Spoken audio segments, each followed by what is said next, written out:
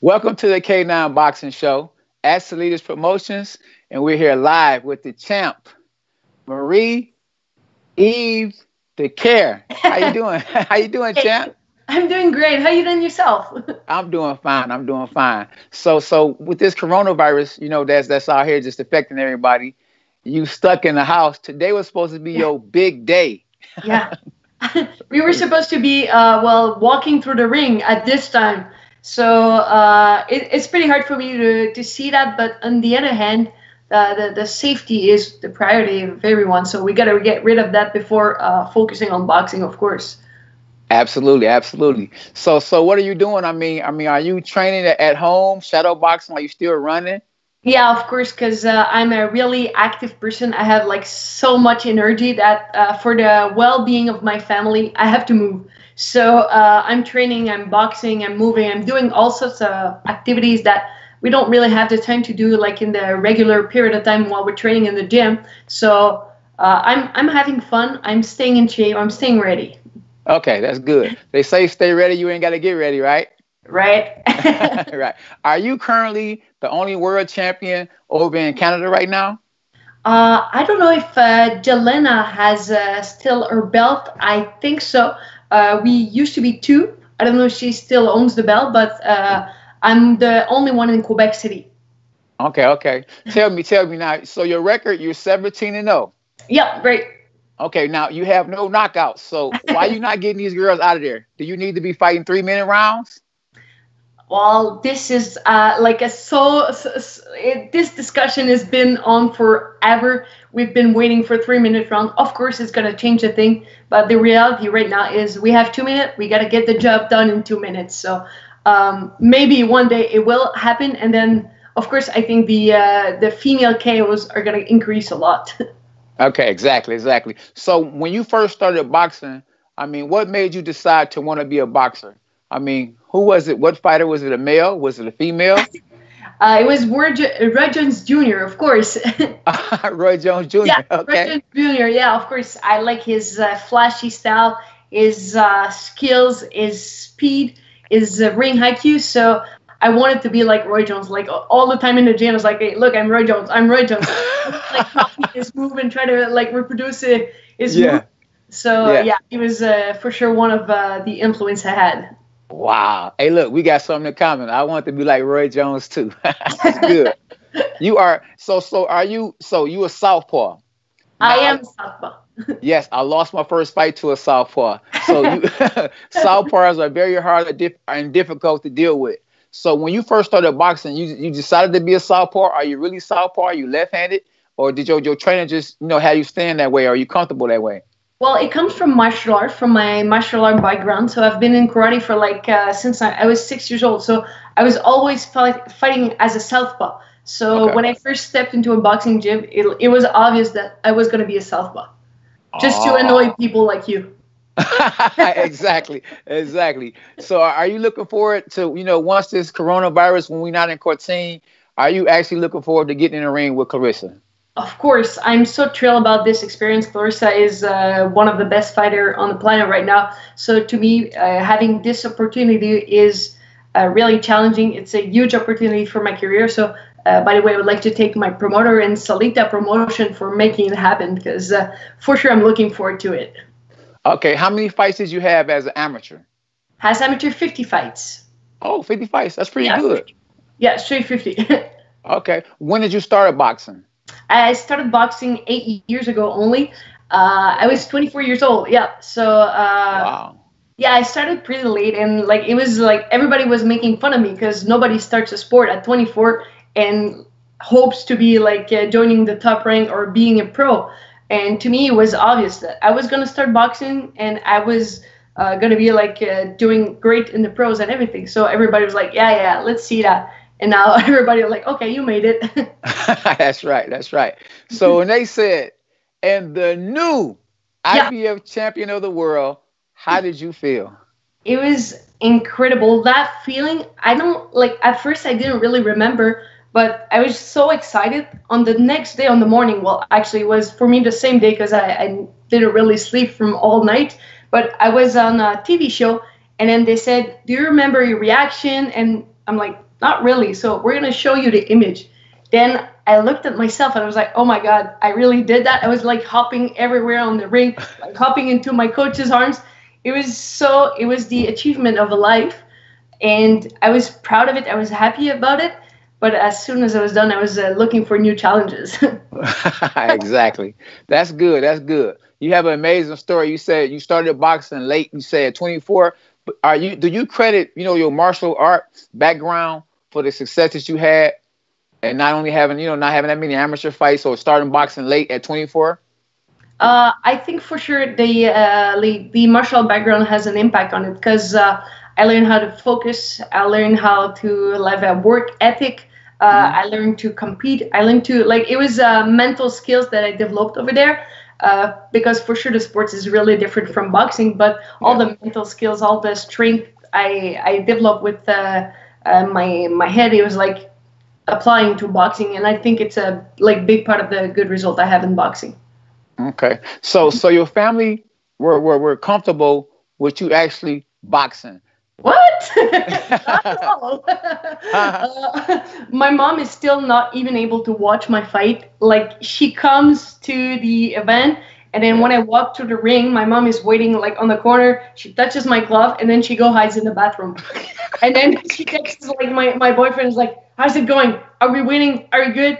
So um, she didn't really support the fact that I wanted to box, but okay. um, she supported my dream. She, yeah. behind me she would see all the efforts I was making, all the um, all, all the things I was do for boxing, and then she had no others than to support me because you know she loves me. yes, I understand. I understand. So, how do you balance the relationship of having a man and actually being a boxer? Because, like, you know, if I'm married to a female that boxes, I'm a little nervous about, you know, making her mad. Yeah, well, for sure. I think he's nervous. He doesn't really show it um, because, like, you know, he's tough. so uh, I think he, he, doesn't really show it, and we don't really talk about it at home. I'm like, it's for for him. It's my profession, so we, we talk about it a little bit, but it's not like all the conversations around it. It's what I do for a living, and it's it's fine for him because I feel good doing that. I feel like I, I'm I'm at the right place so he has no other choice to support me. Mm-hmm. Just what, my- yeah, yeah, yeah. What are some of the other things that you like to do besides boxing? Um, all the all other stuff. I love learning. Like I have to learn new stuff all the time. Like I, I cannot start something without going like to the end. Like I'm competitive, everything I do. So uh, let's say I take like a school course, then I, am gonna try to get the better grade. Uh, I'm gonna start golfing, then I'm gonna like try to do like to be the everyone the first game. So whatever I do, I just love learning. I love to do new sport. I love to do new sports, uh, new stuff. But I just love to be the best as well. so, so you actually love challenges? Of course. Like when I when I used to be young, the the, the like yeah, I dare you to do that. It's like it was terrible for me. I would get into trouble so many times because people would dare me, and I'm like, mm. yeah, okay, I'll show you I can do this. so yeah, I love challenges so much. Wow, wow. I, I can't wait to see you in the ring with um Claressa. I think it's gonna be a great fight. I, mm-hmm. I, was very impressed, you know, watching you fight. I was like, wow, you got some skills. You kind of remind me of Andy Lee. Do you know Andy Lee? I don't, but I wish you'd have said Roy Jones. hey, hey, listen. Okay. Roy Jones. It's a high. It's a high standard. Okay. Okay. right. Right. Right. No. No. Roy. Listen. You could be the uh, the female Roy Jones, but you fight southpaw. Roy Jones was orthodox. Yeah, but come on. no. No. You are cold though. You got some serious skills. You got some serious skills. So you you came from um 147 and went up to 154. Yeah, right. Uh, as an amateur, I was 140. Then move uh, as a professional. We started our career at 147, and then uh, we got an opening at 154. So this is where we uh, we decided to go. Okay, okay. How did this? Yeah, no, go ahead, go ahead, go ahead. Sorry about that. Go ahead. Well, because uh, like being a female is also a reality of like not so many boxers, so we mm-hmm. got to move up and down weights. So it's yes. pretty common to see female boxers like doing so many weight categories compared to men who like tend to stay in the same category. So. Okay. Okay. So so when they called you for this fight, I mean, did you just say, would you jump up and down, or did you say, well, you know, I'm the champ, I'm gonna beat her? I mean, what was your thoughts when they actually contacted you? I was so happy because being a champion is about beating the best. So yes. Um, right now, Claressa is ranked the pound for pound from the Ring magazine, everything. So uh, right now she's the best. So champion has to face champion. So for me, it was obvious that this fight was gonna happen, and it was a huge opportunity. I was really happy about it. And um, sometimes we see like champions try to avoid other champions and everything. To me, being the best is beating the best. So I was pretty uh, thrilled about that. Okay, okay. Now I know you said like Roy Jones was the guy that wanted made you want to box. Who you mm-hmm. look up to, or who you like as a fighter right now that kind of motivates you when you see them fight? Uh, I would say uh, Lomachenko. Uh, Lomachenko. Yeah, of course, it's southpaw. Really, uh, a lot of skills, a lot of uh, head movements. Uh, he's playing angles. He's playing like really good footwork. So I would say Lomachenko right now. Okay, so yo, so basically the style that you like is kind of like Roy Jones, Lomachenko, where it's kind of like the AND1 style. Yeah. Basically. basically right. I, I, like like um fighter like Tyson or like rough fighters and everything. Yeah.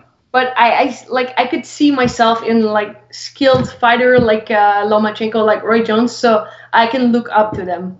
I got you. I got you. It's about skills. What about um Terrence Crawford? He kind of different too, where he yeah. switched up to southpaw too yeah, this is amazing. For a long time, Terrence Crawford was one of one of my best fighter uh, until I discovered Lomachenko. Then sorry. I get you.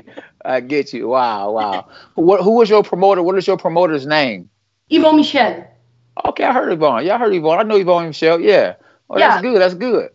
Yeah, we're doing uh, like he has been doing a great job with me. I was uh, uh, one of the first female to be able to do main events, to uh, put a, a, hand on the belt and everything. So he promoted my career really well. So um, I'm really glad I'm with him. I'm really happy about the all the results we have.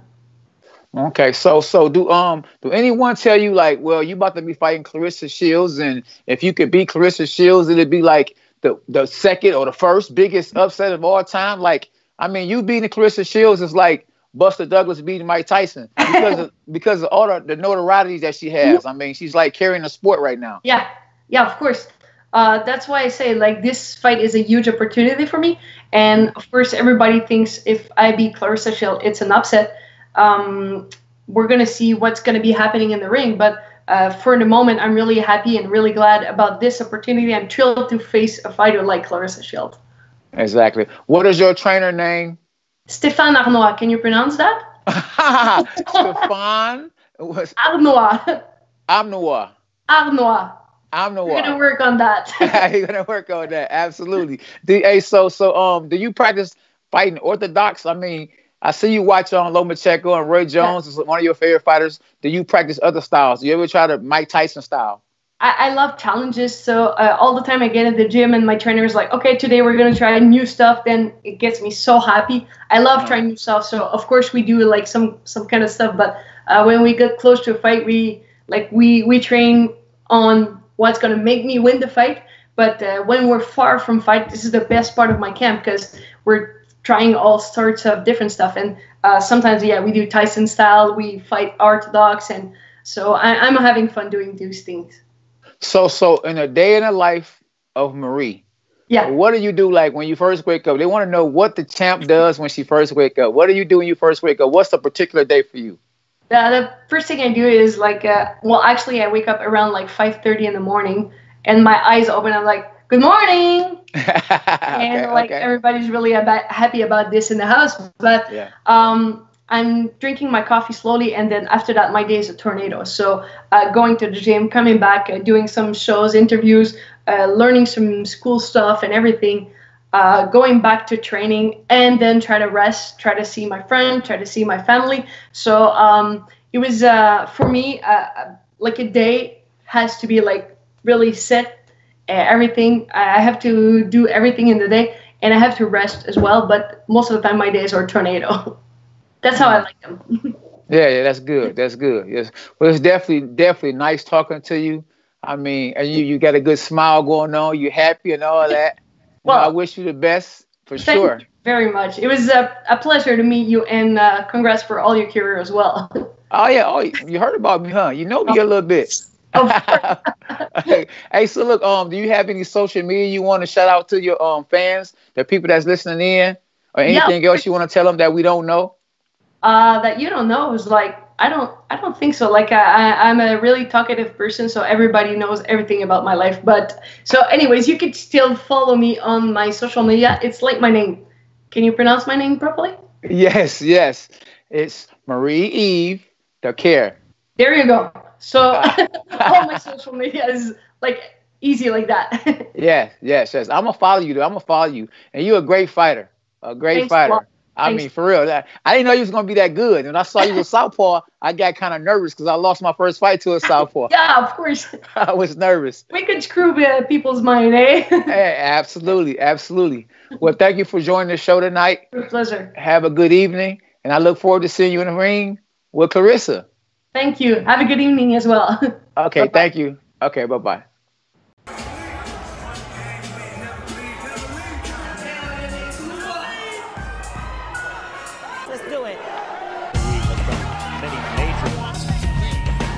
Sprinting from her club. Shields step up. Keep in mind in this round, she had. Oh, great defense. Look at that by Shields. Defense. We see the difference in styles, difference in schools. Hammer straight up before Hammer's holding. Hammer fight her fight. Overhand right go. Won this round, but I think Hammer is going backward there. There's a burning intensity about it. She's not only throwing many more, but landing many more. And hurting. And mouthpiece drops and a good left hand after the flip. Sparkly waiting. The Claressa Shields is nine. Oh, tail retreat here. Shields on top of him with the right hand. Another combination Six unanswered punches. I thought you backed it up to. Go ahead, hit me to a step. Yeah. That's probably what happened. For Claressa Shields.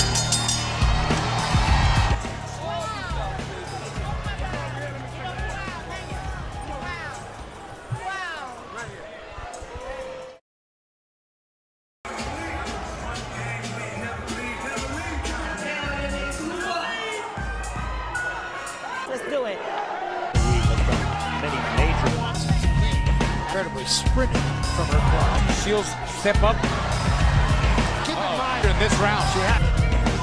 Oh, great defense. Look at that by Shields. Defense. We see the difference in styles, difference in schools. Hammer straight up before Hammer's holding. Hammer fight her fight. Overhand right go. Won this round, but I think Hammer is going backward there. There's a burning intensity about it. Okay. Yeah.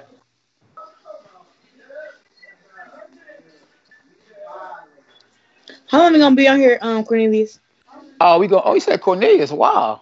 like we went to school, Cornelius. K9. K9. There you go. That's my girl right there. There you go. Cornelius is cool though. It's in the Bible. right. We gonna be on here. Look, 15 minutes. 15 okay, minutes, cool. 15 minutes or less. I just want to get straight to the point and all that. I know you're busy and all that. I had. I'm actually at like a. I'm at a housewarming, so I had. I, I lost track of time. Oh. I swear, oh. I I just left the house and then I look at my phone. I'm like, oh, shh, I gotta do this interview. So that's yeah. why it's probably a little loud out there. But I'm trying to keep it quiet. Yeah. Oh yeah, yeah. 15, 15 minutes. I just want to, you know, see what's up with you and see what's on your mind. I know you um about to ready um be on that um what's that called the Titans. The Titans game, yes.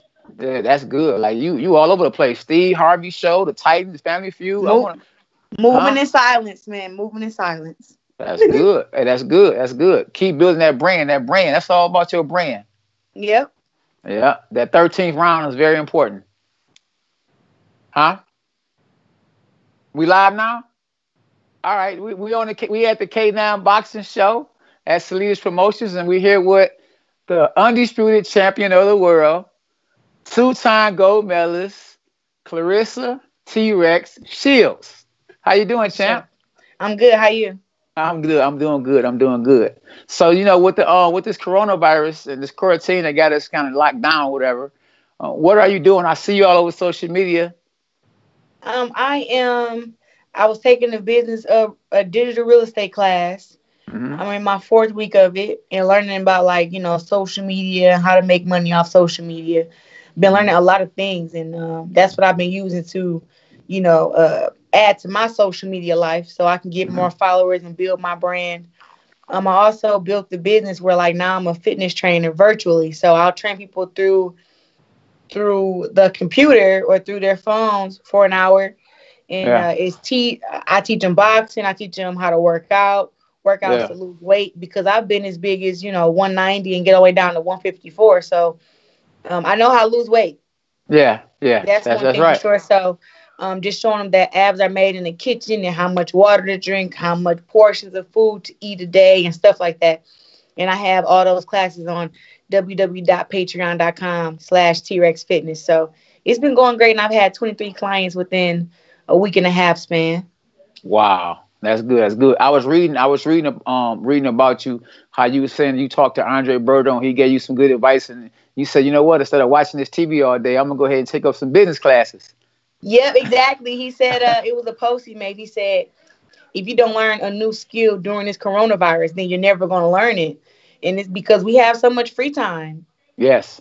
Everybody can watch TV. Everybody can, you know, um, catch up on their shows and go to sleep. But he like, if it's something you really been wanting to do and you don't do it at this time when when when people are off work, most of the businesses are shut down. You can't go to the club. You can't go to your friend's house.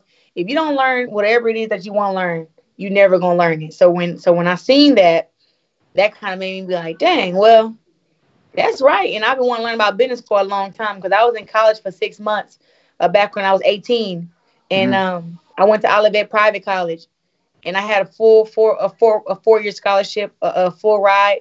But I just I just couldn't do it. You know, getting ready for my second Olympics and having to train and travel to all these international tournaments, it just wasn't good for my school. And so I had to drop out of school. But that's what I was going to school for, business. Okay, okay. So look, being being a fighter, what what actually made you want to be a fighter? You know, being a young lady, you know, young ladies they say I want to be a doctor, I want to be a teacher, but you said no, I want to knock somebody out. what made you say I want to knock somebody out? You know, it was more of trying to please my dad. My dad had been okay. in prison from the uh, time I was two years old till nine, and I just remember when I met him, he just was. It made me understand myself when I met my dad. Like my mom yeah. is cool, right? But my dad, yeah that's where my you know that's where my meanness come from mm-hmm. that's where my competitive spirit come from that's where you know just my fighting spirit comes from like my dad wasn't a wasn't a legit boxer he was an underground street fighter he's known all over flint and michigan and even in prison for being like one of their like underground street fighting champions mm. and um and when my dad told me that story just about like how much he loved boxing but he just couldn't you know get his life right. He ended up going to prison. He said, if I would have stuck to what I was passionate about, I would never went to prison. And I said, what was that? And he said, boxing. So from that day, I was like, you know what? I'm gonna box with my dad mm-hmm. to make him happy. Yes. And when I started boxing, I didn't know that I would love boxing or I love fighting. I didn't even know. I just know I walked in the gym and I seen two guys sparring in the ring. And my first thought was, I can do that. Mm-hmm. And then all of a sudden, I was able to do it. And I was like, wow, freaking love fighting people. It's so crazy. Yeah, you have an unbelievable, an unbelievable amateur record with 72, what, 72 wins and only one loss?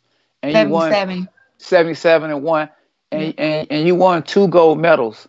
How does it feel to win the first one? The first one was more of a relief, you know. Okay.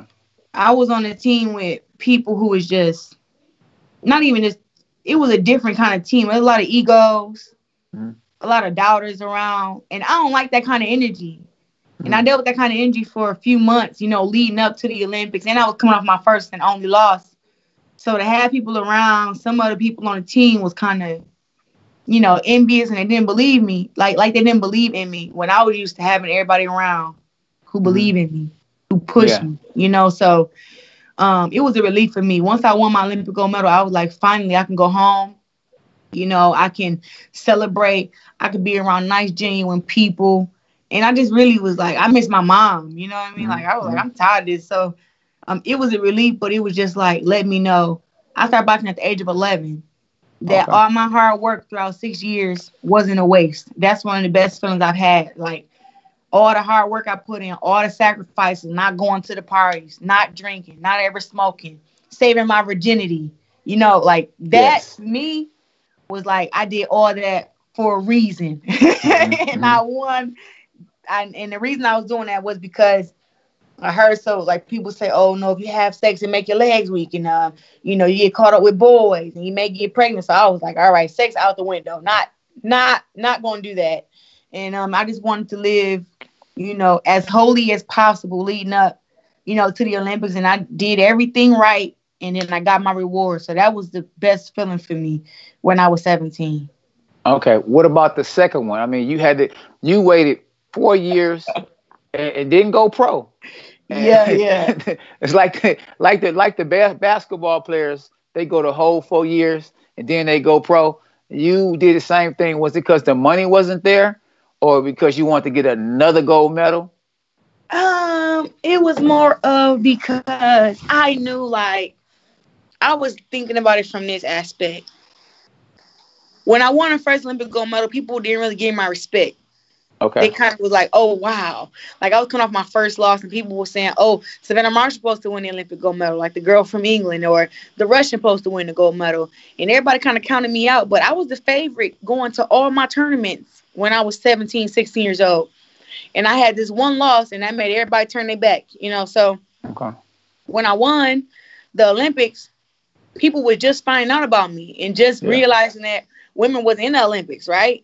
Yeah. And um, I remember we had got an offer from I think 50 Cent when I was just winning my Olympic gold medal, and it was like, you know, um, fifty thousand a turn pro or something like that. Yeah, yeah. And I was like fifty thousand. I thought I'd be hearing a million dollars.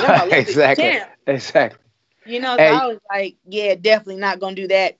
So I was like, you know what? Since they're not giving my like giving me my respect, like I like like the endorsements didn't come, sponsorship didn't come, and I thought that when I won the gold, it would all just kind of fall in my lap.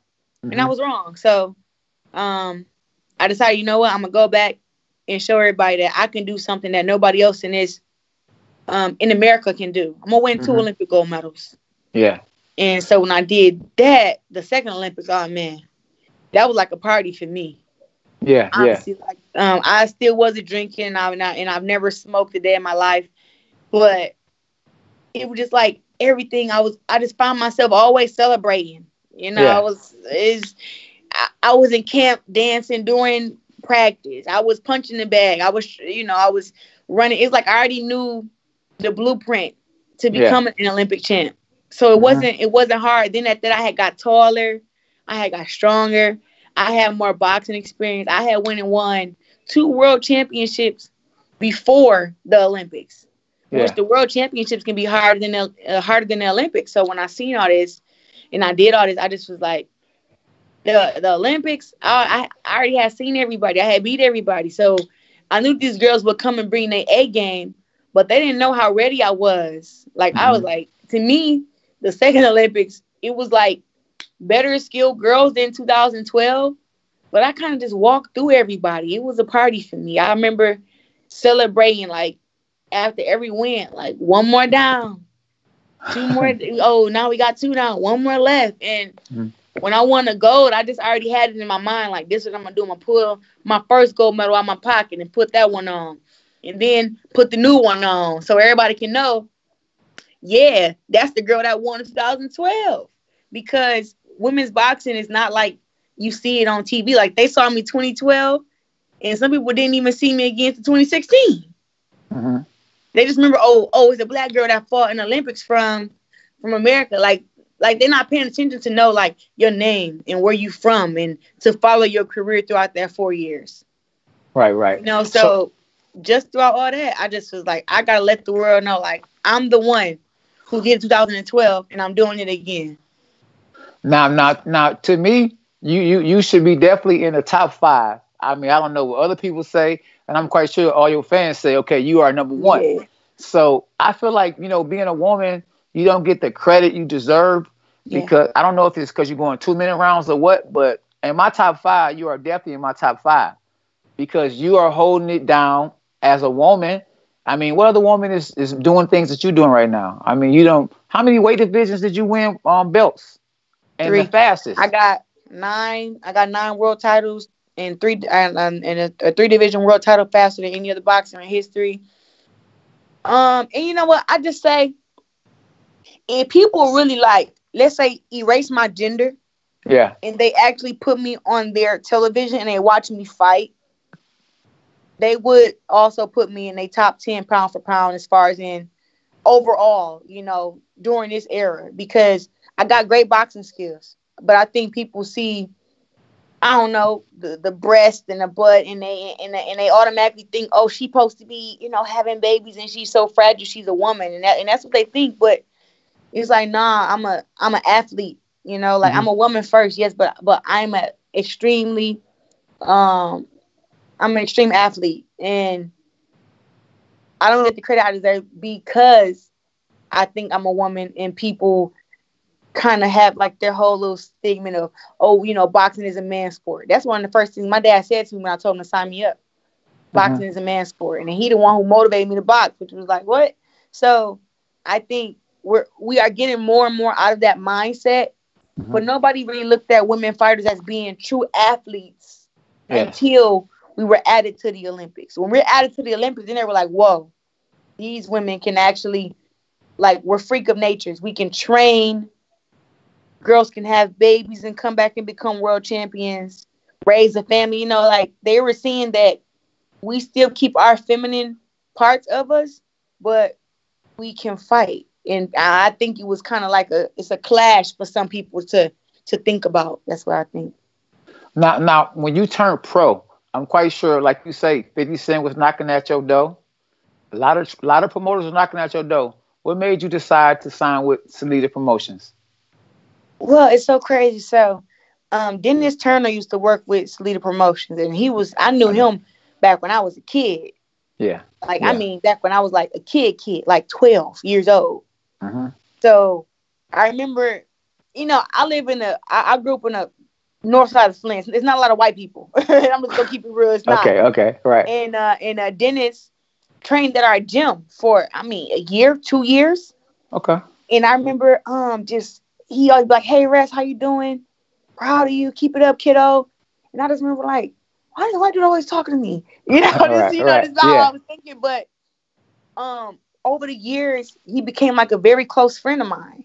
Okay. And um, I just remember he reached out to me. Yeah. It wasn't even Dimitri. He reached out to me, and he was talking to me about, you know, hey, you know, Dimitri Salita. He loves science promotion. He's a good guy. He got good character. He fought before and that's what rung a bell to me. Okay. The promoter that's been inside the ring before. Exactly. And I was like, okay. So then I end up meeting up with Dimitri and just talking to him and feeling his vibe out and just trying to. I can. I have a good um sense of people. You know, mm-hmm. if, if yeah. they're genuine, if they're you know evil minded, they have a secret agenda. I can I can sense all that.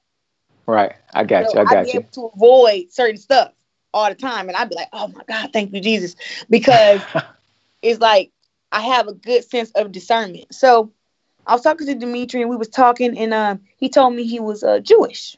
Mm-hmm. And I was like, oh, I'm a Christian. Amen. Like, yeah, you know, we believe in Jesus too and stuff. And he just was like, he's a messenger. He was going back and forth. And we, and, and the fact that me and him could talk about our different religions without clashing. Mm-hmm. I said, this is oh, this is a pretty decent dude. And then I talked to him about his boxing. And then I said, so I want to become a world champ within 7 mm-hmm. fights. Which I said, what you think about that? He said, I think you can do it. I said, what Absolutely. you mean? I just want to see, like, you know, what he's like, Chris, I watched you box. You are a phenomenal fighter. He yeah. said, you can beat all those girls. And then I was like, so you telling me you can make sure I have Christina Hammer be my seventh fight? That because that's what I wanted. Mm-hmm. My seventh fight to be, be against Christina Hammer. Yeah. He said, he said, it may not be your seventh, but I can make it close. Mm-hmm. That's what he told me. And then from there, I seen like whatever he said, he delivered. Paid for my meal prep when I was in camp. When I was in camp, he came down to camp to watch me train a full day. I trained okay. three hours my session. Yeah, three hours. He mm-hmm. stayed down to three hours. I sparred two. I sparred three different guys during this session. Ended up getting uh-huh. like a little bubble on my eye or something. Uh-huh. Then the next day, he came down that one day, spent three hours. The next day, he came again. Shut the door. So next day he came again, and I was back doing the same thing I did the day before. So he knew uh-huh. like, oh, she not just showing out for us. I'm like, this is how I train. Yeah, yeah. So when he seen that, he was like, he just was something in him. I could just see it. He just was like, he he's looking at something he never seen before. Yeah. And um, I just knew I was dealing with a good person.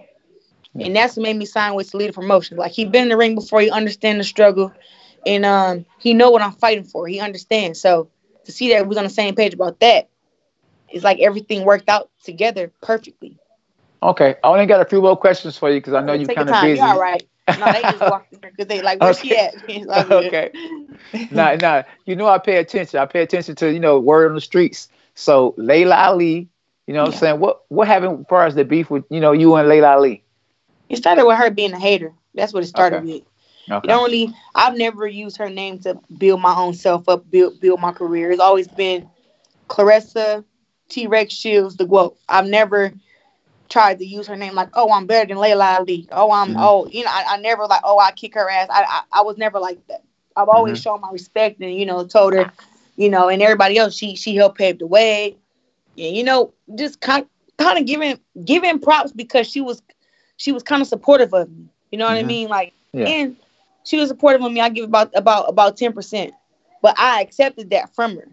Yeah.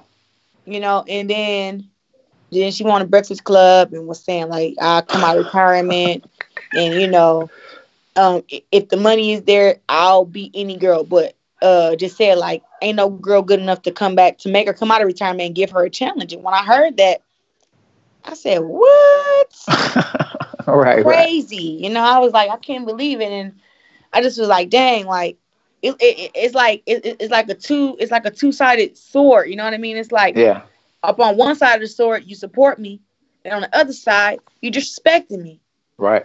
And I'm yeah. like, dang, I don't know if it's one, like I said, my like my sense of discernment already yeah. told me from, from from when I first met her when I was 17 that she was kind of she's a little envious of me. Yeah, yeah. And I don't know if it's because of the Olympic gold medal or because one day like we'd be compared to each other, but she was a little envious. Okay. And even when she commentated for the 2012 Olympics, she said if the Olympics would have been around up in my time, I would have won an Olympic gold medal. Easy. She said that up on camera. Oh, while so, you was fighting. So she talking about when you was fighting too at the same time, she would have beat you. 2012. Oh wow. And she's like, if the Olympics would have been around when I was coming up, I would have won Olympic gold. And I just was like, why she make it seem like you know, like oh, it's just so easy when when yeah. when, it's when, when it's not. But I let that go. You understand? And I continue being friends with her. I, I text her. Um, her name in my phone was Big Sis Laila. I tell her when I'm fighting. After I won my world title, when I had fought against, I believe Nikki Adler, yeah. I never heard from her again. She never responded back to a text. She never um, responded back to my messages on, I believe, Twitter. Nothing. Oh, you would text her and she wouldn't respond back? After I won my world title, she never responded. Oh wow. Oh wow. Well, so hey, I just was like, you know, I didn't really know what was going on until she went to the Breakfast Club. And yeah. then I just heard after that she was saying little stuff. And it was like I had to ask myself, like, do you respond or do you not respond? Because it's like it's a, it's another two-edged sword where it's like if you respond, you disrespecting the pioneer. But if you don't respond, you bowing down to the pioneer. You know what I'm saying? Like yeah. you up there because anybody else say anything, I'm gonna yeah. respond and say if you because I kick your ass and I and I get to hitting them with facts. But yeah. it's like with her, it was like, dang, do I just leave it be? Yeah. Or do I respond? And it was like, you the fucking quote. You gotta yeah. respond. Exactly. So I responded, I responded to let her know, like, I ain't like what you said. I yeah. took it as disrespect. But to let you know, if you was to come out of retirement, it would not be an easy go with me. You you, you would not beat me. And that's yeah. how I really feel. Like skill wise, I'm light years ahead of her. Mm-hmm. She lucky I wasn't around coming uh coming up in her time because I would have been a one to whoop her. Yeah, yeah, yeah. You know, so it's more of like she needs to be thankful for that. But the fact that she's been so disrespectful toward me, it's like it's still right now. Yeah. If the fight happens, it's a two-edged sword sword because when I whoop her ass, they're gonna say, Oh, she's 43 years old, she old. Yeah. but it, it, it that, that's the only way I can see it. When I win, that's what they're gonna say. So it's yeah. like I, I, win, but I'm losing. Uh-huh. You know I got I mean? you. So, yeah. It, yeah. It really don't matter to me if she come out of retirement and we fight. I'm gonna treat her like I treat everybody else. Dog mm-hmm. walk them, everybody. everybody. Well, I know smoke. I know she's been training. I've been watching her. She's been training a little bit. So if 15 million, she eh, what 10 million for the winner, five for the loser. I had said I said it at the beginning because that's what I was like. I, I need some kind of incentive. I don't okay. want to get the same as the loser because she wanted five million just to step in the ring. Okay. Um, that kind of money has never been made in women's boxing. No. For even one person to get five million, you know. So mm-hmm. I'm just like, um, a lot of people on the out, the business people are like, they don't know if that's even possible. It was a man who was willing to put the 15 million up, but after he did his research on her, not me, on her, the she did a hundred thousand buys with her and Jackie Frazier. Yeah. So that's the only pay per view numbers he going off of. He's like, in order for him to get his money back, we would have to, or or or, or to make money, he said we had mm. to get five hundred thousand pay per views.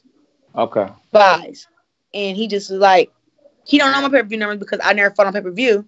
I got you. And she only made a hundred thousand uh, pay per view buys, so he was just like, he don't have the right kind of math. You know, he yeah. just like I just don't understand that. Like he like if I'm yeah. gonna put 15 million up, I want to make sure it does this and that. And I'm still building my brand up, and her brand wasn't big enough back then to do over a 100,000 buys. So now I'm like, look, at this point, somebody just give her five million. Just go ahead, just give it to her. Mm-hmm. Then after that, me and her can discuss the rest. Yeah. But go ahead and give her her money so we can see is she really about what she's talking about. Yeah. You ain't even gotta yeah. pay me yet. Go ahead and give her five million, and I'ma mm-hmm. still show up. Right, right. Yeah. And I'm gonna make so, my money because the money comes, I believe, after dethroning her. I believe when I dethrone her, people gonna say, "Oh, this is why we pay Claressa Shields this much money." Right, right. Now, so listen, it's some other stuff on the table too, though. Um, there was the Dana right, the Dana White. Is that is that really real with um Amanda Nunes? Or you get in the cage and a boxing ring to take her yeah. on? Yeah, yeah. I, I think it's real as far as in me going to MMA. As far as in her coming to boxing, I think she's scared as hell. I'm gonna keep it on me. Okay. And um, she got all rights to be. You yeah. know, but not like not saying that I'm not scared to get in the MMA ring, but I'm but I'm willing to train and learn that stuff mm-hmm. to give her a great fight. Yeah. And uh, any fight that I'm in, I go in to win. Period. Yeah. So, um, I'm definitely uh, I, I, was starting my training, but then the coronavirus stuff started, kind of put me on the back leg. So I'm gonna have to, you know, wait. But I believe after my fight with Marie-Eve Dicaire, um, Absolutely. I believe I wanna I wanna fight the winner out of Hanna Gabriels and Raquel Miller. Yeah. And then after that, I'm gonna focus on my MMA career. Yes, yes, yes. I take my hat off to you too for that, cause um, whew, getting that cage, that's a bad boy. I'm tapping it out is. quick. Tapping. If they get me on the floor, it's over. I'm done. But standing and on that's my feet. That's the thing, though. That's what I'm training for. Like I know yeah. I can box in my sleep, as you exactly. can. Exactly. Somebody, somebody can bust in my house. I could be butt naked, and I jump up and know exactly how to stand and how to fight and everything, and get the job done. Absolutely. So but, it's more of like if if I can't do that in, in, in MMA, that's a yeah. problem. I don't yeah. want to go in there giving nobody an advantage over me. Like, oh, I don't know how to wrestle. I don't know how to get out of this position. I don't know how to get off my back. I don't know how to submit somebody. I want to know all that stuff yeah. before I get in there, so I can know. Yeah, she's more experienced than me, but at least I know how to do this stuff where I'm yeah. not like completely blind. Absolutely, absolutely. Now you know, you know, today is May the 9th and, yeah. and we don't supposed to be doing this interview. You're supposed to be in the ring. I'm supposed to be there front row or watching on Showtime. How do I mean? How do you feel that the fight actually didn't happen? Because not only you you don't have a chance to to be another world champion, that'll be what your ten thousandth belt and, and, and another belt and money. You know, this is talking about a bigger person. Seems like every time you fight, your purse get bigger too. Yeah. So um, yeah, so yeah. The world is going through a pandemic, you Absolutely. know, and I already seen it coming. Mm-hmm. You know that they were, you know, re- that they re- rescheduled to fight, but. I'm more than you know ready to to, to, to get in the ring and uh, you know challenge Marie-Eve Dicaire. She's 17 and 0. Absolutely. Uh, from I think Quebec, Canada. Um, you know, just a really good fighter from what I've seen. She's southpaw. She's my first southpaw that I fought against since I've been pro. Yeah. So um, I was looking forward to that challenge and showing, you know, how crafty I could be against a southpaw, and um, just you know, doing better than I did my last fight. Even though my last fight was a was a shutout, and I beat mm. Ivana Habazin easy. Wasn't even a contest. I don't even easy know why work. showed up. That's right. Ivana shouldn't even showed up. She had right. to wait and eating eating eating ice cream just to get her ass whipped. Stupid. Yeah. Anyways. Yeah. But yeah. um, Marie Eve Dicaire is like she's either number one or number two at 154. She got the IBF belt, and um, that's what I was like. You know what? I I, I want to make my claims here at 154 in my third division, and then Yeah. uh, once I become undisputed at 154, um, I, I don't want to leave my fans without the Hanna Gabriels' rematch. Yeah. Um, I, I don't think it was my toughest fight, but Okay. everybody else think that. I think my Yeah. toughest fight was with Franchon. But I Okay. guess since more people seen the fight with me and with over over five hundred thousand people seen the fight with me and Hanna Gabriel, they think um that our fight was the toughest because she knocked me down first round. But Yeah. she took an ass whooping too. Uh-huh. You know, but overall, I would love to fight her again and you know prove that not even about the knock uh, about the knockdown, but more of just show her that yeah, you got. You, I guess you kind of got lucky with the knockdown because uh, once I school her at 154, she's not going to even be able to piece it together on how um, she even did at 160 because I'm a, I'm a fight way better even though I'm coming down in weight. But um, all in all, I look forward to to fight Marie Eve Dicaire. I think uh, she's a good fighter. Uh-huh. I will give you my analysis of her. You know how I feel about uh how she boxed and blah blah blah. You know, but um, I'm not gonna do that because she's probably watching this and then she got time to work on it at the gym. So absolutely, absolutely. um, I- I'm gonna let her, you know, box however she boxes and whatever her mistakes is, her mistakes. But um, I look forward to challenging her, and and the fight was gonna be in Flint, so I was, you know, so excited. I I just Yes. really want to give my hometown a fight. I've always fought in Detroit. yes. I fought in New York. I fought in Vegas. I fought Mhm. in LA. I need that Flint fight right now while I'm why while the you know pen is hot. You know, Yes. I, I want people in people in Flint, especially like the youth, to know, yeah, we come from Flint, but we are very, very strong people and we can become successful. And I'm one of those people who have proven it. I just want them to, to, to see me fight in person so they can believe it. Believe What- it. Yeah. Let me ask you one other question, and then you know, get everybody your social media and all that. I'm quite sure it's going to be a lot of views. And one thing I, I, I like about you too, and that's really good about you, is like they can say what they want to say, but when I go to Sleeves Promotions and look at your numbers as far as your views, you get a million views like off the rip. Yep. Now, now let me ask you. So, if it was a fight between two people, which one would you want to take? Cecilia Braekhus and Savannah Marshall. And tell me the reason why. I mean, like them, like them are two. Like Cecilia Braekhus. I mean, be honest with you, I think she's ducking. Um, Yeah. Savannah Marshall is a female that you had lost to in the amateurs, who is Yeah. not really ready for you as a pro, to be honest. Yep. But if they both wanted you right now, said we want you right now, which one, which fight would you take? it was it's really a hard choice. I really had to take I like I take both y'all motherfuckers same night. it don't matter to me. Absolutely. No, but uh, but honestly, I would um I definitely you know when I watched my documentary T Rex hmm and I watched because they showed the part when I lost Yeah. and um for two three years after I lost, when I would watch the documentary, because I would go to little shows and had the kids watching, and you know, it's like it's a it's a documentary of how I became Olympic champ.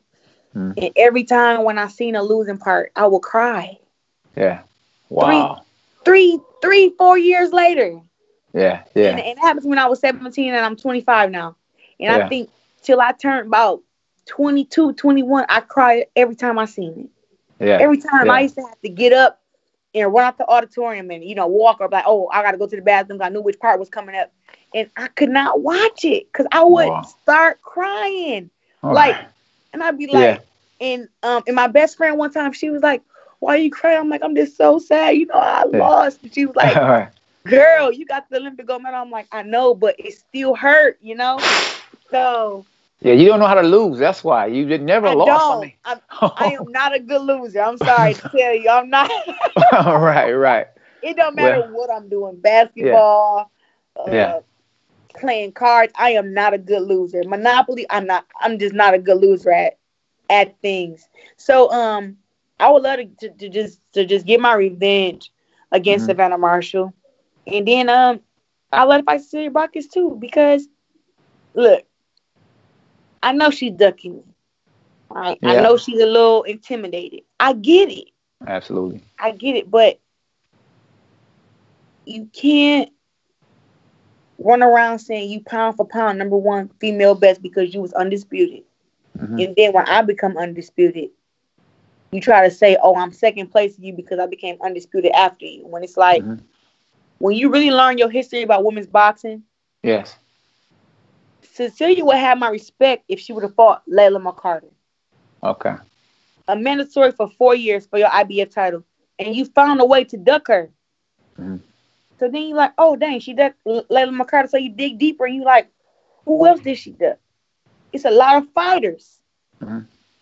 And to see that you only fought in America, in America twice, okay. and one time against an American, yeah, shows that you knew better, that you picked, and now that she's pro, and now she with Eddie Hearn, you see her doing it again, picking who she want to fight. Oh, mm-hmm. if it's out of Claressa Shields and Katie Taylor, I want to fight Katie. Yeah. Oh, if it's out of, you know, um, Amanda Serrano and Chris, I want to fight Amanda. These girls are 135, 140. Exactly. When I'm coming down from 168, yeah, I'm, I'm damn near cutting off an ass cheek to get the 154. I hear you. Yeah. And it's like you was talking about some, I was too big and I was this and I was that. Now I get the 154 and you still got excuses. So exactly. now you can maybe have to come hunt you down now.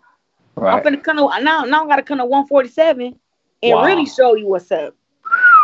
Yeah, well, why not go to 154? Y'all can meet up at 154. I mean 151. She she terrified. That's why.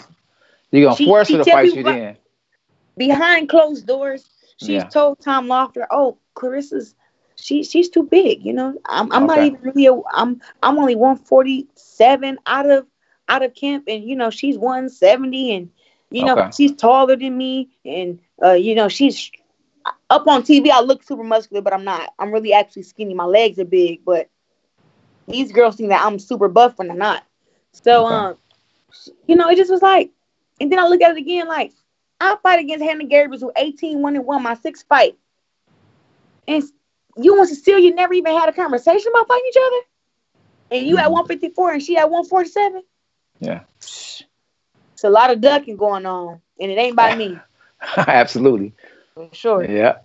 Well, well, champ, go ahead and tell them, you know, any final thoughts, you, know, social media, um, when you gonna be on the Titans and all that good stuff. so I'm supposed to be on the Titan games May 20, May 25th, 8 to 10 p.m. Eastern. Make sure you guys tune in.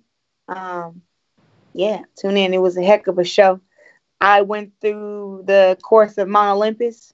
Okay. And some people can't even make it through there, and I and I made it through there, and I had a, it was a great show. I met The mm-hmm. Rock. He hosts the show. Absolutely. And uh, The Rock personally chose me to be on the show once again. And um, everybody can follow me. One, subscribe to my YouTube channel, Claressa, Cl- Claressa Shields Quote channel.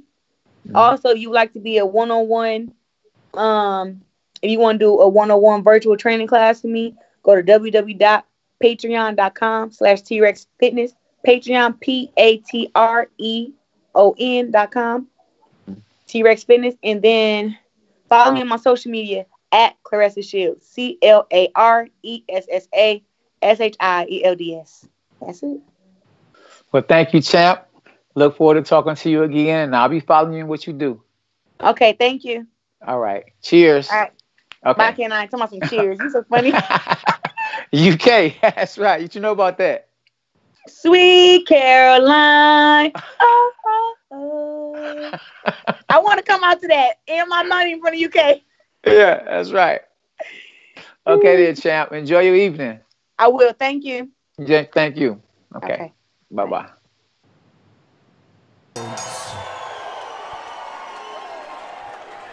And once again, we have our referee in charge. Now to give instructions, Sparkle Lee.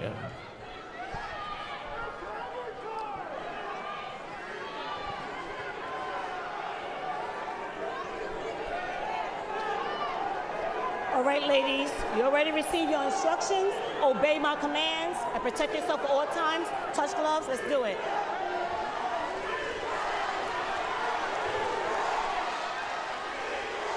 It has all the earmarks of a big time fight. Ambiance is there, crowd is into it, palpable tension. And these first three minutes will tell a big story. And we've waited a long time for this fight, Barry. These two have been eyeing each other for a long time. Now they're fighting each other. Here we go, round one. Let's see what we learn from this first three minutes. I beg your pardon, two minutes, of course. right. That's it, two minutes. Lost my head. First time either Shields or Hammer has worked with a female referee, Sparkle Lee has done many major women's fights. Well, I saw Claressa step back with a counter overhand right.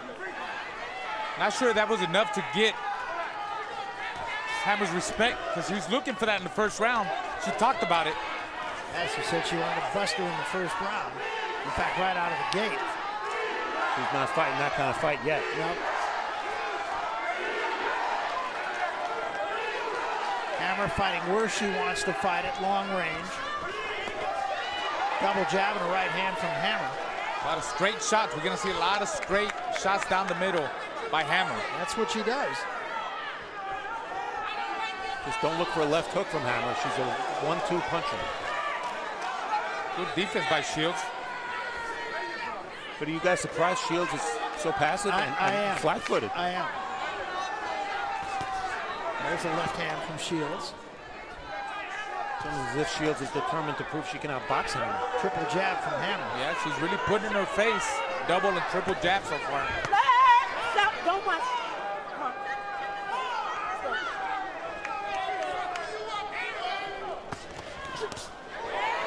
Again, double jab right hand, and then a miss from Shields. Let her go, let her go, let her go, Hammer. Don't hold her head. Shields did say she was going to attack the body. She's got to get close and go to the body. She's got to stop that movement. Shields missed a wild left hand. Hammer keeping the fight where she wants it to be at long range. Again, a miss from Shields. Ah! And a good first round from Hammer.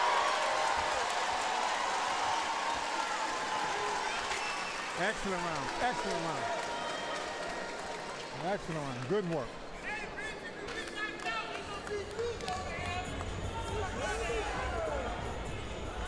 Good head movement. Take your time, just like that. Keep putting the jab on and going downstairs. All you gotta do like you're doing, keep moving that head and stepping back. And she's reaching with everything. So take your time and do your thing, all right? Handcuff, man.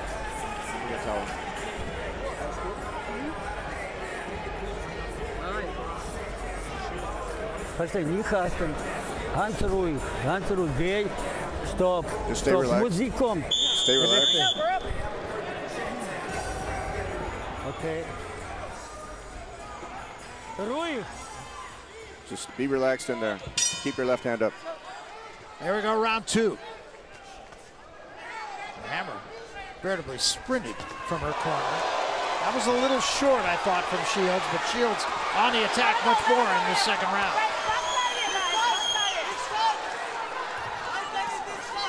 Hammer grabbed and then came out of the clinch punching. Interesting strategy. There's a voice, John David Jackson, in her corner with her for the fourth time tonight. John David, a two-division world champion in his day.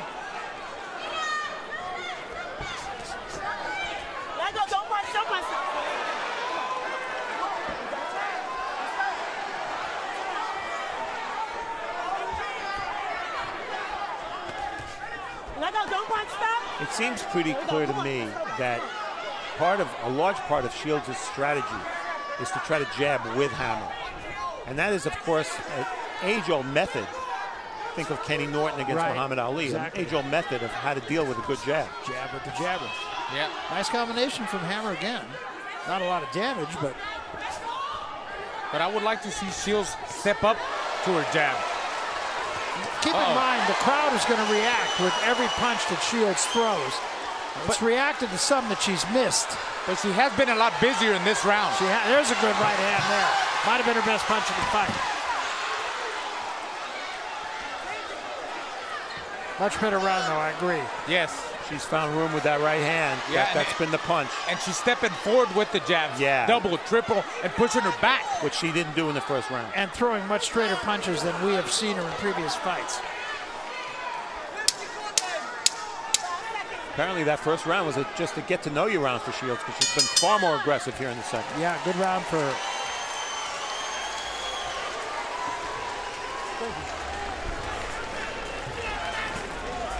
All you gotta do is what you're doing. Take your time, relax. You don't think. That's all you gotta do. Very good round.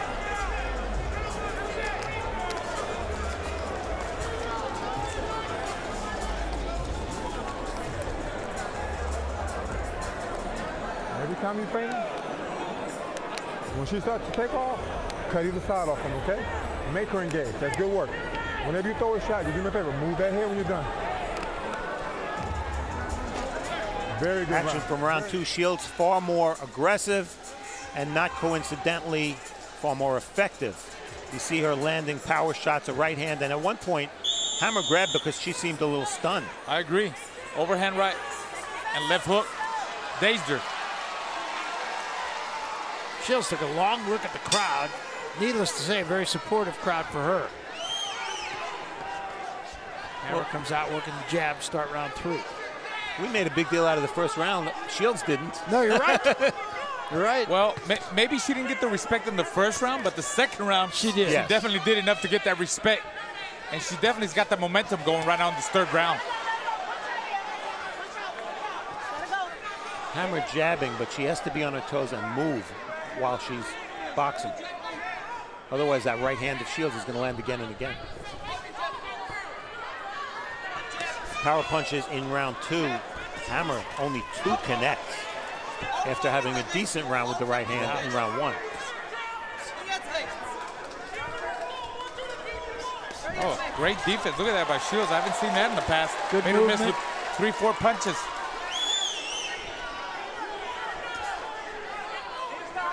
Closing the gap, jabbing to the body.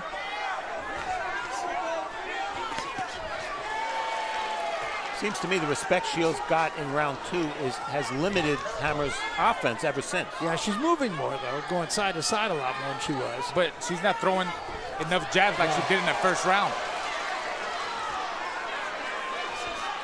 Now, Claressa Shields fighting a much more complete fight than I've ever seen her fight. I'm with you, Barry, and I, I think both of them knew exactly what the other was going to try to do, and that makes training a, a strategy a little easier to come by.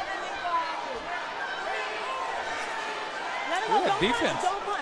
Yeah, and she's much more under control. Yeah. She's not throwing wild punches. Very loose, and yeah, she's not loading up with every shot. Just letting it flow, very relaxed. You can see it in, in Shields.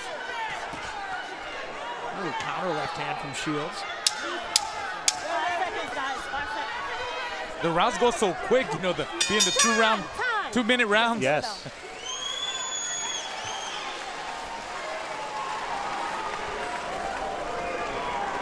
Rechte gerade linke Haken. Straight right, Augen zu. left hook. Keep your eyes open.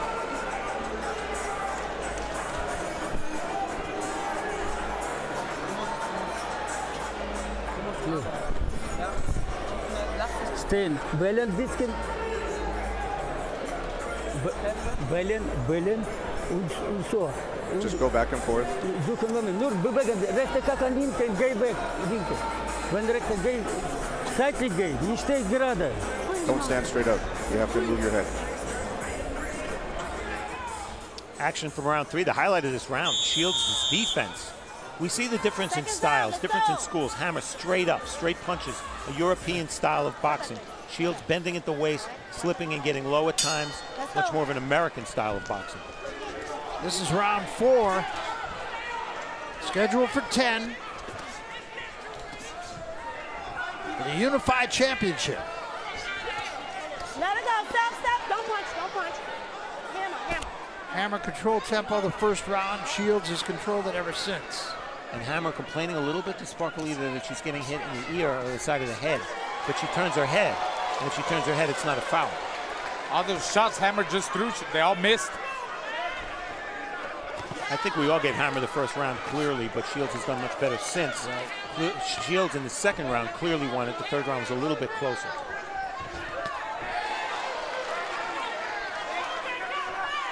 Well, Shields just dictating the fight right now. Guys, Looks like there was a butt right in the middle of uh, the mouth of Hammer.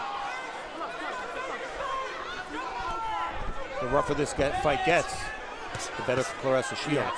Oh, she wants that. She wants a rough fight. She wants a she wants a brutal fight. That's that's her style. She she likes that. There we go. But I just I just think she's so much more A under control and Yes. B throwing sharper punches. And for the most part, she's doing it on the outside. Yes. Looks like she's thinking a lot more from in the past. All right, let it go, let it go. Don't punch, don't punch. Let it go, let it go. No warnings yet from Sparkle Lee for Hammer's holding. Well, that's a place that Hammer does not want to be. And you can see Shields just going to rough her up. The uglier this fight is, the better it is for Claressa Shields. And Shields may be flailing with some of those punches. There's a warning. But even if she's flailing with some of the punches and not pronating the punches, she's still going to impress Oh. the judges. Right hand from Shields. Yeah, watch that overhand right. She's trying to set her up with that overhand. There he goes. Yep, just missed. Well, what she's doing, she's taking Hammer completely out of her rhythm. Thank you.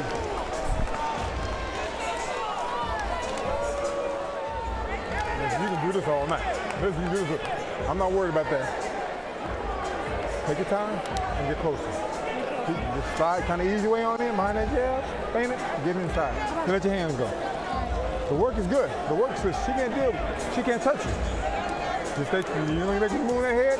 Stay, stay. Just be careful. All right. That's good work. Can she punch? You get it? Okay, but don't get don't get careless. Do your thing. That bitch got a jab, boy. I'm telling you. Sometimes do it, soft. But then sometimes do it, like, wow. Okay. I'm knocking it down, Yeah, okay, you got it. Slow. Okay. Go work, go work, go work. I don't often see the fighter talk as much as the trainer in the corner. Claressa was in a complete dialogue. Yes, and John David's kind of soft-spoken to begin with. So far through four, Hammer has landed 13% of her punches. And most of those, I imagine, came in the first round. Yeah, exactly right.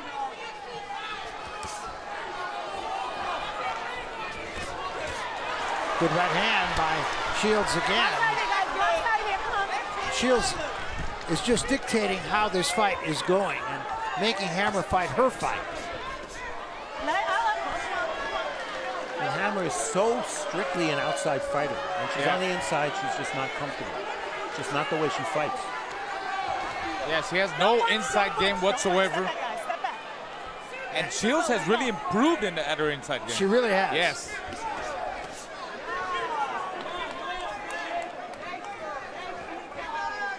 Look at them feints. Shields can't afford to rest too much because Hammer gets the jab going when she does. Yeah. We've seen it in the last 15 seconds or so. Actually, Hammer got the best of that exchange.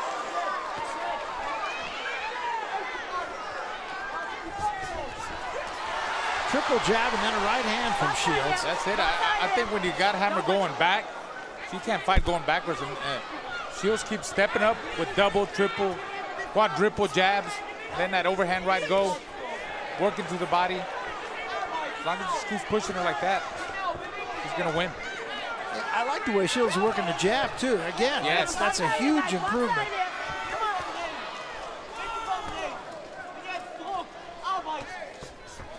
Triple jab, missed with the right hand, but you know, you said it. She's out jabbing the jabber.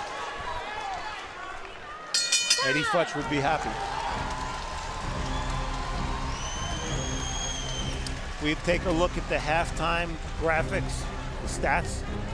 Remember, these rounds just fly by, and Hammer 13 jabs out of 127. That tells her story right there.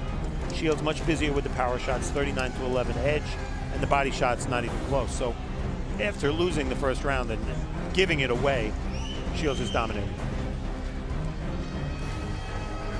Well, besides the first round, I mean, I think Shields has the right game plan. She keeps pushing her back with double and triple jabs, working the body. Nice combination, not loading up with every shot. Overhand rights are connected, jabs are connected. She's got to keep doing that. For Hammer, she needs more of the first round. She needs to get back on her toes, in and out, move side to side, throw short shots down the middle, long shots, hold her in the inside. That's the only way she's going to beat her.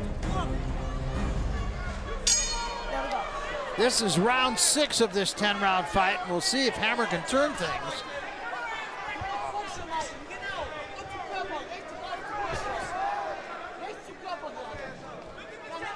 Hammer standing her ground at the start of this round. Looks like she wants to fight a little bit more. But she she's straight up. Yeah.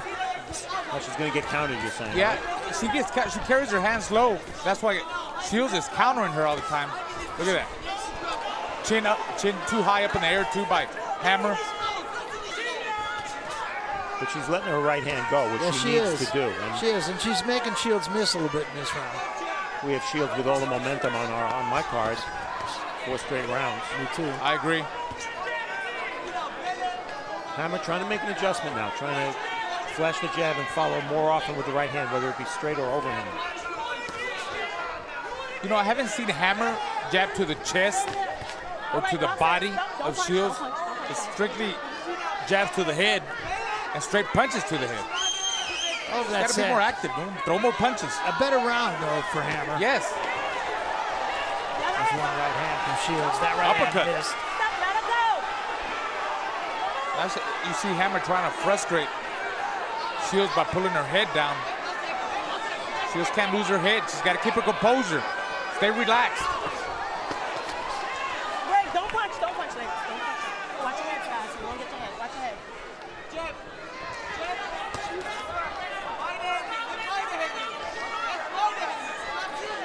If Shields is going to keep her hands low like that, she has to move her head. She's been doing it at times. I don't think Hammer has won this round, but I think it was a good comeback round. She, Really? she fought a little better this round. I'm not sure she didn't win. Connected there. Nice other connect for, from Hammer. That's a little flurry at the end of the round by Shields. Sehr gut. Du musst immer arbeiten das mit, mit rechte. That's very good. You have to work with your right hand. You understand? Close your eyes. Jetzt gute Runde.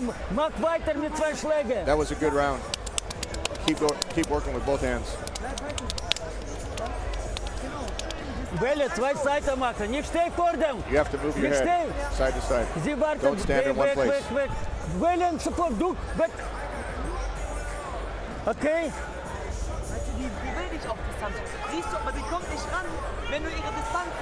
She won't reach you if you keep your distance. Zentrum muss deine sein. Pap, pap. Throw the uppercut. Wenn, wenn nah, aus wird kacken, kacken. So, jetzt ist diese Runde auch für dich, aber die ersten drei waren knapp. When you're Jetzt eine close, gute work on the Runde. inside. Probieren, probieren, Cecina.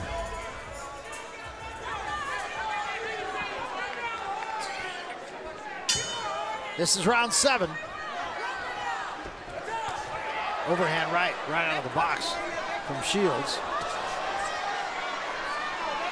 If Shields is going to throw that overhand right, it's important Hammer doesn't back straight back.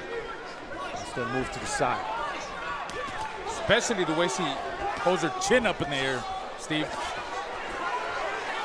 Body punch connects through round six, 24 to 2 for Shields. Yeah, Hammer's not, as Raul pointed out in the last round, not gone to the body very much at all.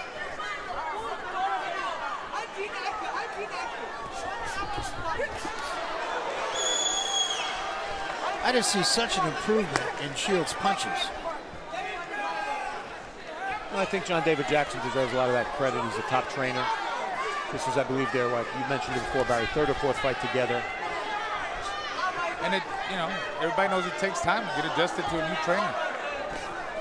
The one thing Shields still does, she's doing it right now. She boxes with her mouth open. Punch out of there. It's dangerous. Maybe not this time, but maybe next time. Plus, Claressa hasn't been a pro that long. I mean, this is only her ninth fight. Coming out of the amateurs, ninth fight. A lot of improvement so far.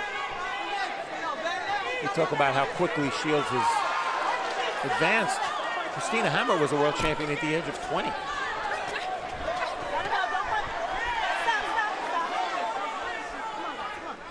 Hammer wants no part of Shields on the inside.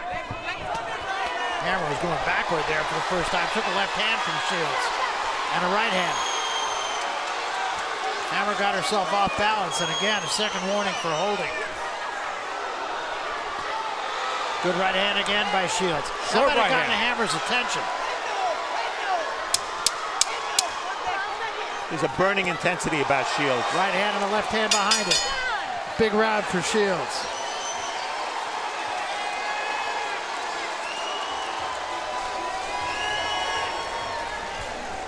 Beautiful round. Beautiful round.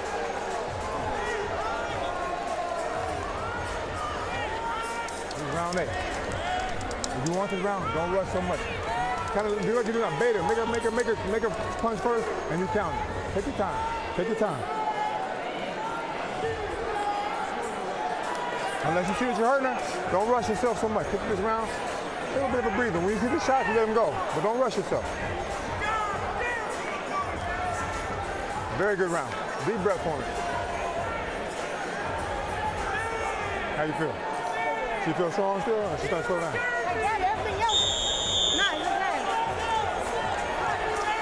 Use those feints, go to work.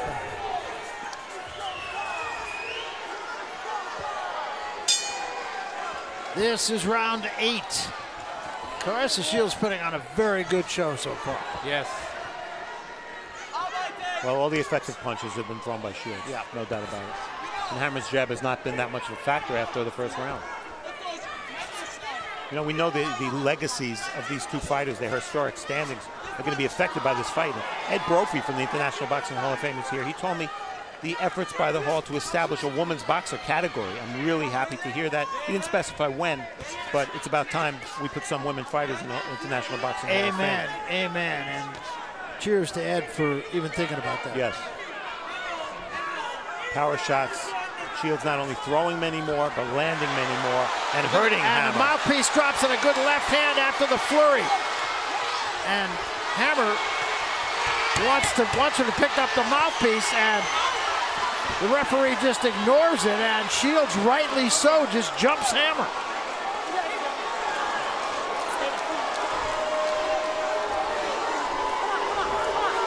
I mean, Shields did the right thing. I do believe Sparkle Lee should have stopped the action at the first break. Keep it in. Keep it in. Come on. Come on. Do it. Put it in. You put it. I'm not putting it in. I'm not. Come on. Uh, the rule Come is on. Come on. No time. She got a long break right there. you- the rule is the referee has to wait for a lull in the action. I didn't see a lull in the action, so I have no problem with Sparkle Lee waiting. Left hook by Shields. Yeah. Really sit on her, on her shots too. Yeah, she really is. Nice right hand there. It was just a little bit past the ear of Hammer. She has landed some big shots, but let's not forget that Claressa Shields in nine Oh, pro good right fights hand. has never scored a knockdown. But but she's setting down her punches better than I've seen her do. Yes. That overhand right. And she's got There it goes. Hammer in retreat.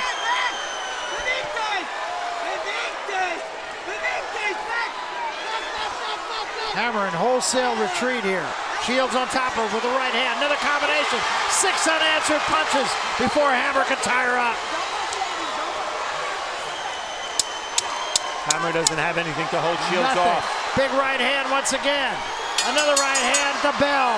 Huge round for Shields.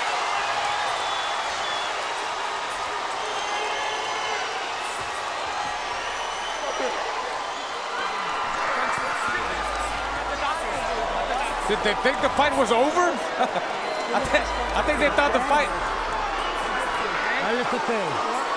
And the doctor in the corner taking a look at Christina Hammer.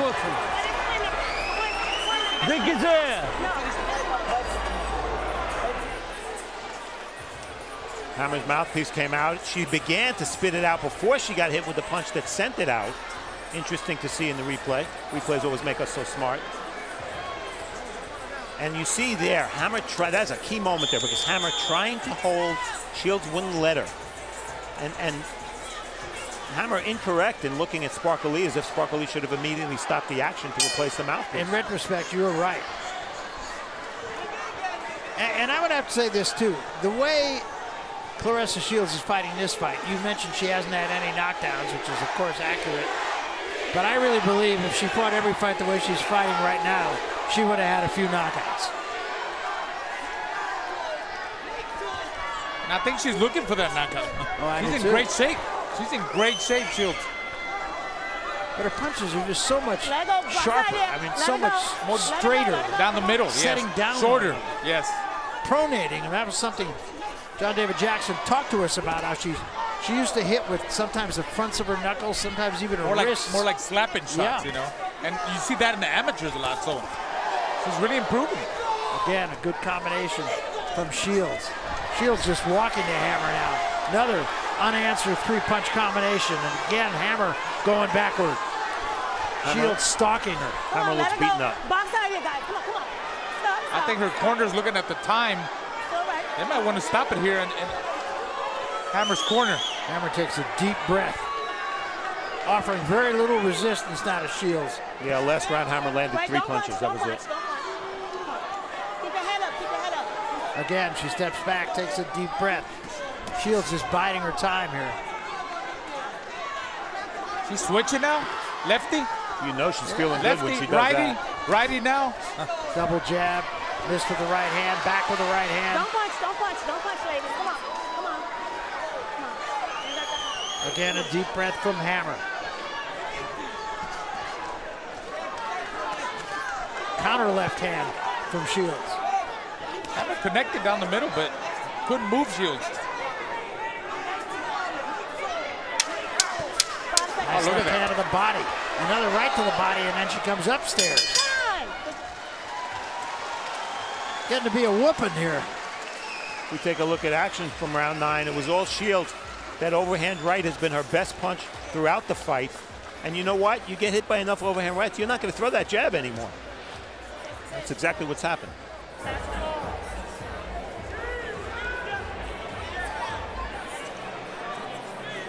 Is your round. Haben wir diesen Kampf verloren. Haben wir, haben wir diesen Kampf, haben wir diesen Kampf verloren. Ja? Ey, mach bitte die mit Körper bewegen. Und Got the concentrate. Let me do a shot. She had no choice. She's down like 9 0.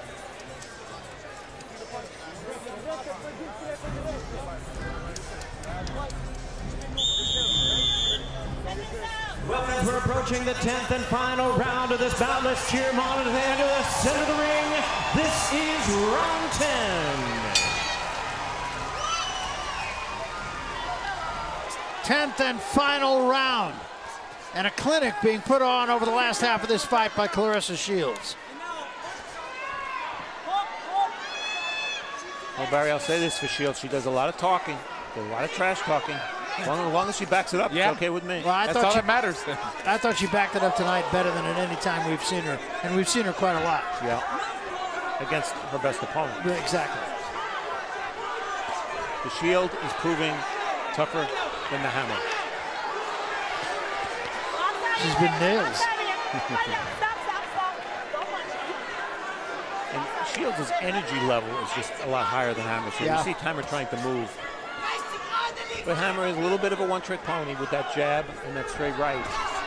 And with the jab not a factor in this fight, she didn't really have that much else Don't to rely on. punch, guys. Don't punch. She says she trained up in Colorado Springs, huh? Had like an eight-week camp. Yeah. The high altitude. Well, He's showing tonight. Hammer also trained at altitude, though. She was in Seefeld, Austria. Very similar kind of training regime than Shields had. And That's Shields is saying, go ahead, hit me to the stomach. Yeah. And that's probably why Hammer is able to take all that punishment too, because Yeah. he's trained at high altitude, Barry. Don't punch, don't punch.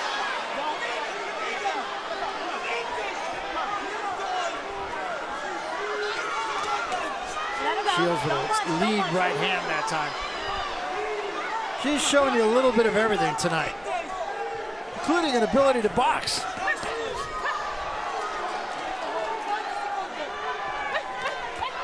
Oh, I love that triple triple, quadruple jab. Yeah. And she pushes her back. It's a good jab. Yes. Final seconds Oh, of this fight. And a complete victory for Claressa Shields. Well, they're not buddies. They don't want to. They don't want to touch gloves.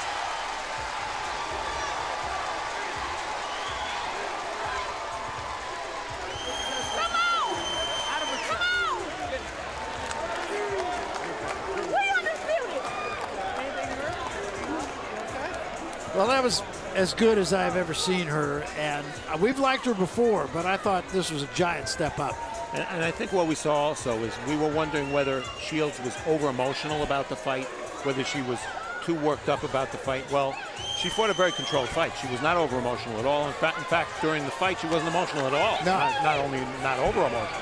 So I think, you know, she's letting it out now. It's an emotional moment for her now, but she fought a very controlled fight. Yeah, she I- I did. thought so, too. That was one of my keys. You know, she can.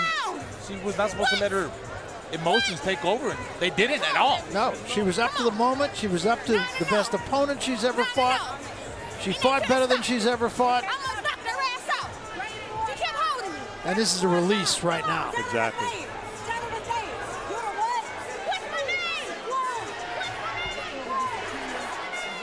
And that is the face of somebody who's been in a tough, tough and losing effort.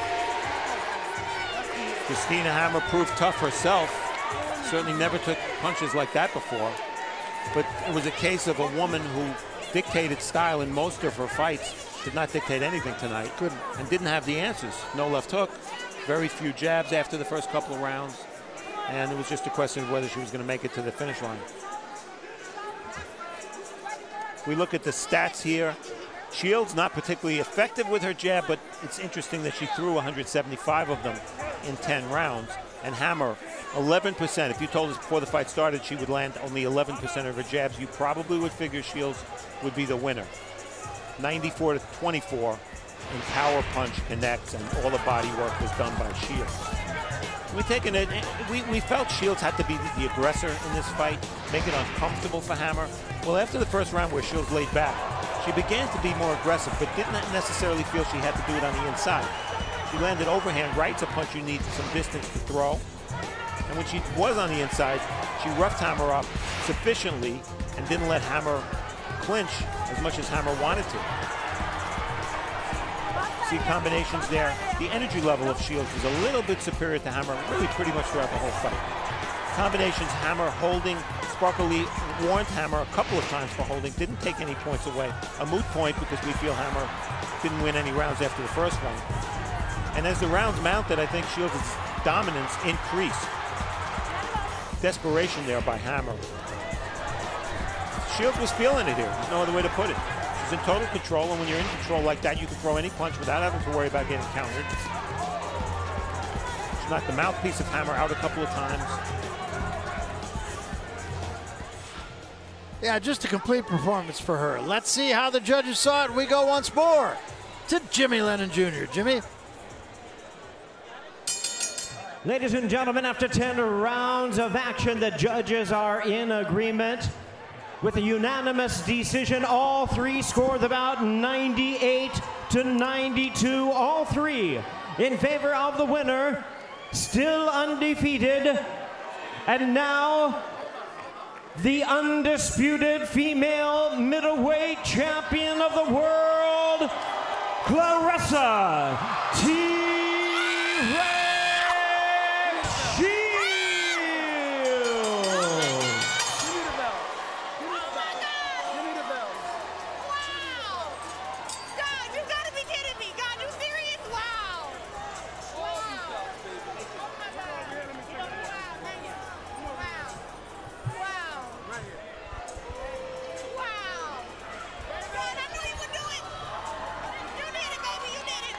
There is your winner, Claressa Shields, and uh, 98-92 on all the cards. That was the way we saw it too. Hard to see it any other way. The first round going to Hammer, and after that, a dominant performance that seemed to get better as the rounds went on. For now, the undisputed middleweight champion of the world, Claressa Shields. Let's go